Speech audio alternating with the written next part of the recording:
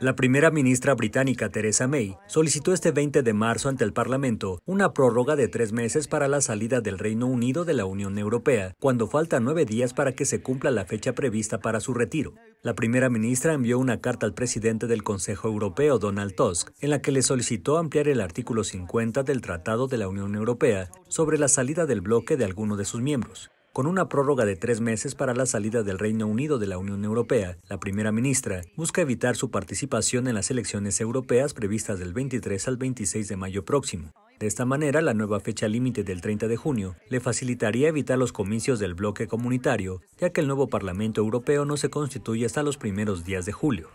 Analistas prevén que May intentará de nuevo que su acuerdo sea respaldado en el Parlamento la próxima semana si logra encontrar una manera de evitar el fallo del presidente del Parlamento británico, John Bercow. Notimex.